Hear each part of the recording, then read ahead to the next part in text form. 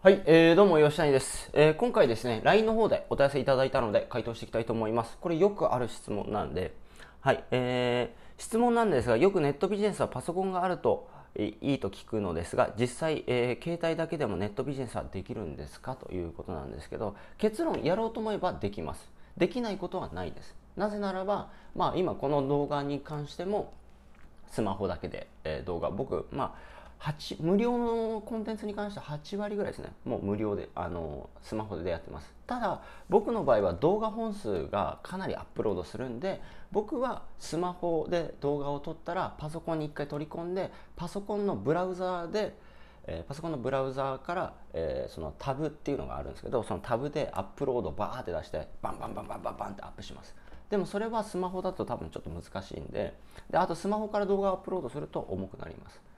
だからそれやるものによってですね例えばじゃあ僕がスマホスマホだけで1000万ぐらい作った方法があるんですけどスマホだけでですね。じゃあそれ何やったかっていうと、えー Facebook ですね。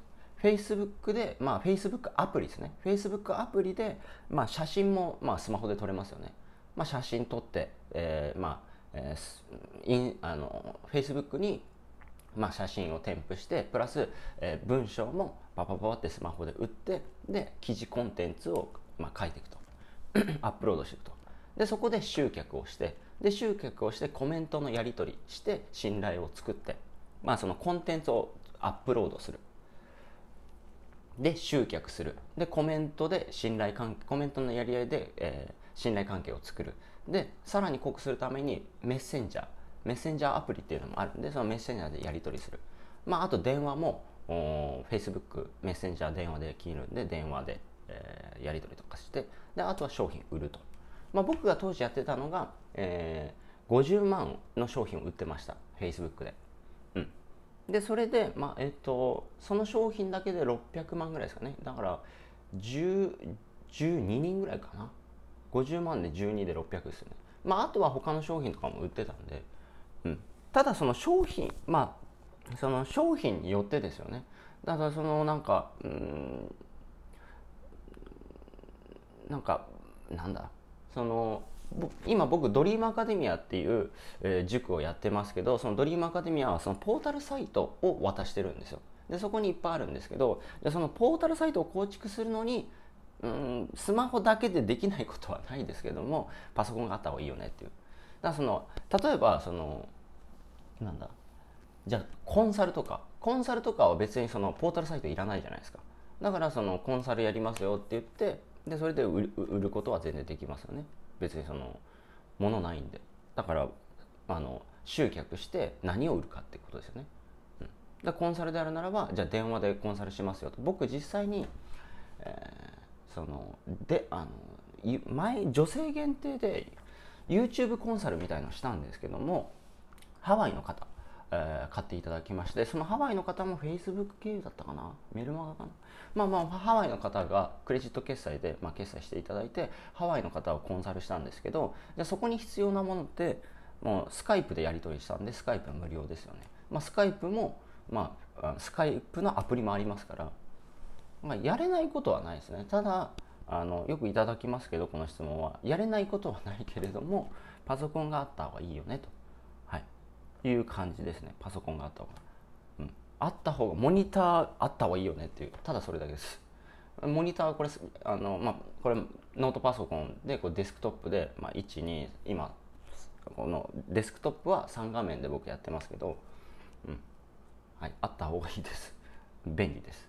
例えばこのモニターに関してもこっちで、まあ、サイト。これ縦縦にしてるんですけど例えば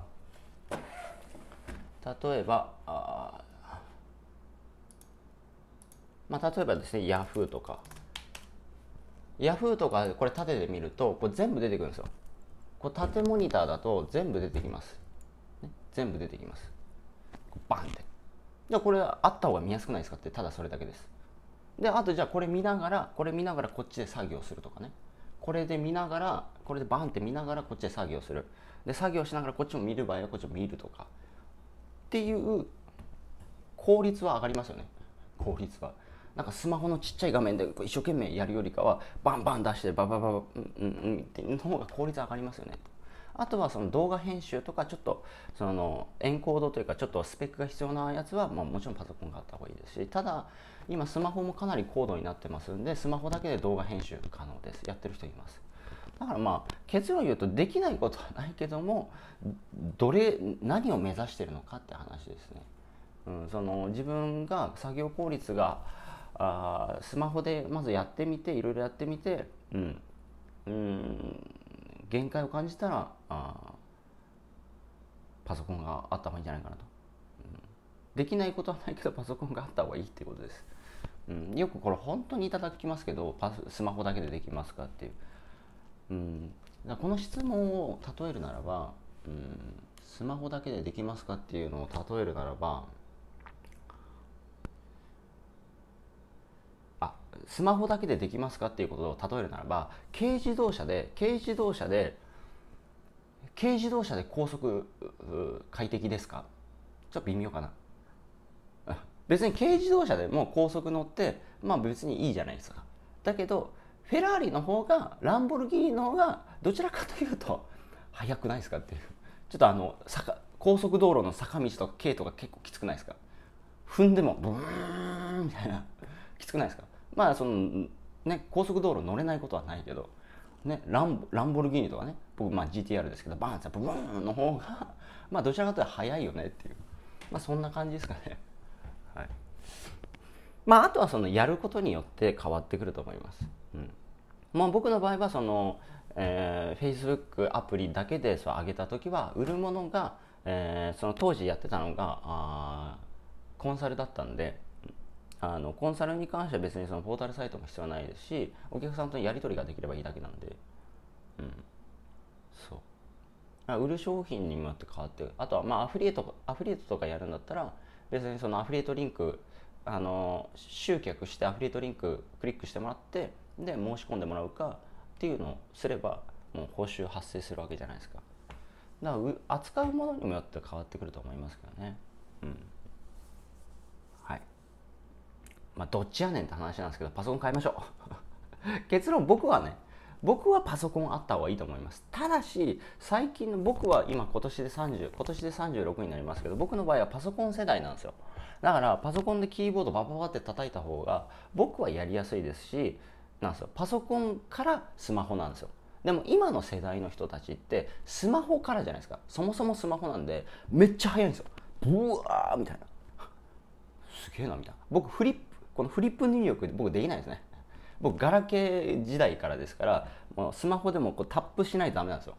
このわこのこのフリップ入力ができないですね。でフリップ入力極めてる人パソコンより早いんで、うん、だから一概に言えないんですけどね、うん、だからまあスマホをねめちゃめちゃ使ってる人はスマホで文字入力する方が早かったりしますから僕はもうブラインドタッチでババババってやった方が早いです。間違いなく僕の場合は。ただそれは人それぞれじゃないですか。スマホのフリップ入力の方が文字入力が早いっていう人もいますしだったらブログのブログの更新とかも、まあ、あのスマホだけでできますからババババってできますよね。だからそれは、まあ、それも人それぞれかなと思います。ただただ、まあ、中長期見るとパソコンがあった方がいろいろと、まあ、こうこういうのはできないじゃないですか。こういう環境はスマホじゃ結構きついと思うんですよ。